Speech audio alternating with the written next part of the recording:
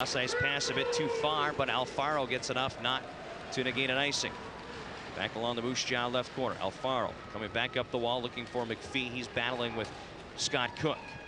But Cooke and McPhee keep going, and I was just about to mention they needed to watch themselves. Now they're going to drop the gloves. Cooke and McPhee inside the Moose Jaw zone along the glass.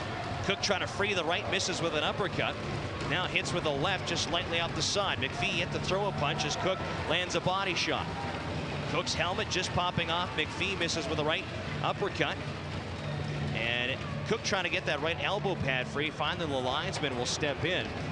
6-12 to go here in the opening period. Warriors trailing 1-0. Is the initial penalty coming to Scott Cooke? He was getting pretty aggressive along those Warrior walls. Yeah, he was all over McPhee. Finally, McPhee had had enough, and they both dropped the gloves. Scott Cooke was incensed going to the going to the penalty box. I'm not sure what he was so irate about.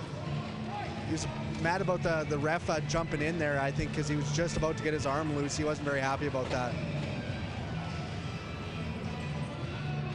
6-12 remaining. Here in the opening period. And yeah, the initial penalty going to Cooke. Just a bit